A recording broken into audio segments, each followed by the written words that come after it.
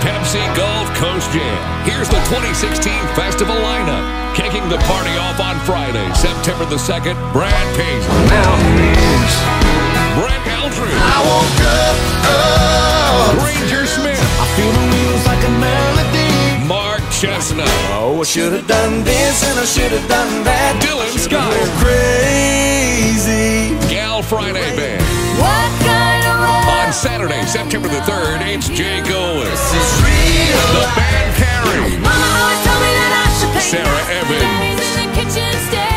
Staring. Charles Esten. Doggone bad. Daryl Worley.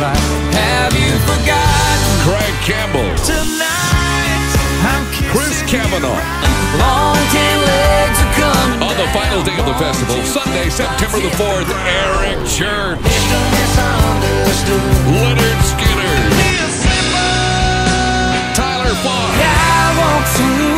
Neal McCoy. Billy's got his Colt beard. got Ford. Simple truth speaking. Kirsty Lovelady. We got waves of Lodging packages and tickets are on sale now at GulfCoastJam.com.